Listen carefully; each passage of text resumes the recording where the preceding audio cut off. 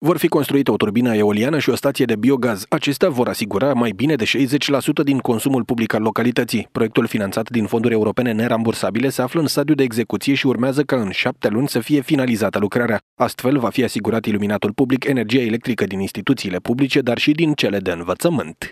Este o lucrare mai amplă, este de fapt începutul lucrărilor la ceea ce înseamnă un proiect pe post CCE în valoare de peste 1 milion și 250.000 de euro. Au început lucrările efectiv, atât la raportarea la sistemul energetic, descărcarea mai bine zis a energiei produse, dar și a lucrărilor propriu-zise, care ne va scuti pe noi de, de plata unei anumite sume privind iluminatul public, dar și utilitățile la spațiile sociale, școli, grădinițe, etc.